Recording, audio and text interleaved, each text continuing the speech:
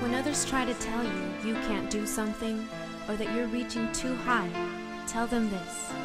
I can be a part of everything because I am the only one capable of controlling my destiny.